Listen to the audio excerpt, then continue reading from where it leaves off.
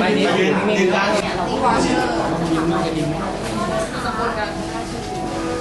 ค่ะก็ที่ตั้งมานั่งก็ถือนี่เราจะรับมา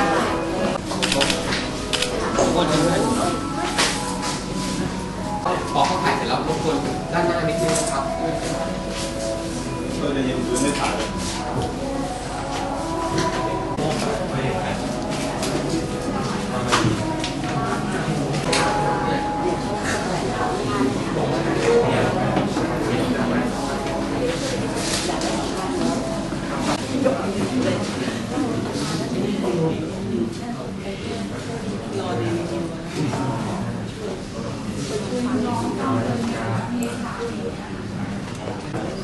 ด้านล่างเลยค่ะอ๋อโอเคครับ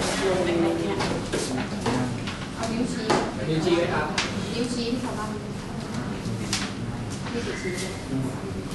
ถ่ายที่คนนี้เนี่ยเพราะว่าไปยืนข้างหลังไม่ไปยืนข้างหลังทำไมถึงเลือกหนังก่อนล่ะนั่งที่อยู่ข้างหลังเอาเปิดไหมก็เป็นว่าจะต้องมาเรื่องคนว่าอะเป็นใครยังไงบ้าง แล้วเราก็ค่อยได้ได้ได้ เริ่มต้นว่าเราซื้อตั๋วไอ้ซื้อตั๋วเครื่องบินกันยังไงจะแดงขึ้นกดตัวละครใบนี้นะครับพี่ก็คือว่าเริ่มต้นมาจากว่า หนังสือพิมพ์หนังสือพิมพ์ผมเอ่อเห็นสื่อจากหนังสือพิมพ์ฮะจากเดลินิวนะครับ ซึ่งลงมาเมื่อแต่ปลายปีที่แล้วนะฮะมีการลงขายตั๋วโฆษณากรุงเทพไปญี่ปุ่น นะครับ โดยที่จะมีหลายราคาหนึ่งหมื่นหกพันเก้าร้อยเก้าสิบเก้าบาทนะฮะ โดยหนังสือพิมพ์ฉบับนี้นะฮะ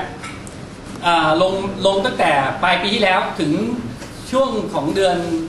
เมษายนที่ผ่านมานะครับ โดยที่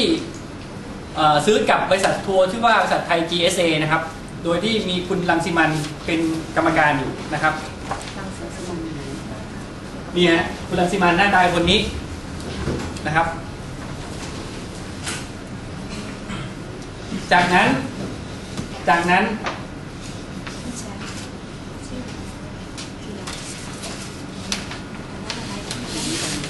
จากนั้นทางบริษัทไทย GSA เนี่ยก็ไม่ทำตามสัญญาในการบินคือว่าถึงเวลาถึงเวลาบินเสร็จปุ๊บ